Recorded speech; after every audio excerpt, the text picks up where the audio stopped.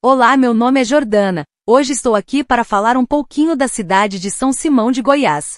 No início, São Simão era apenas um pequeno povoado que se desenvolveu às margens do rio Paranaíba.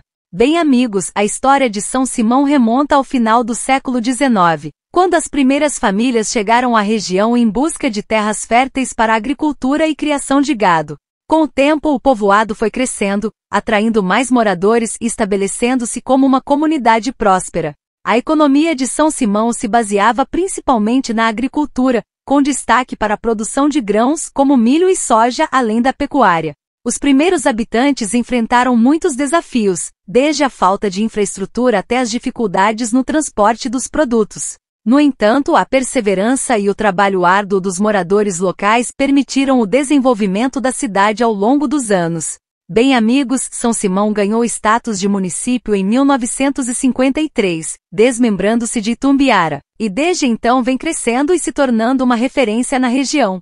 Um dos pontos mais conhecidos e visitados em São Simão é a usina hidrelétrica de São Simão, construída no rio Paranaíba. A usina é responsável pela geração de energia elétrica para diversas cidades da região e também atrai turistas que apreciam a grandiosidade da obra e a beleza do local.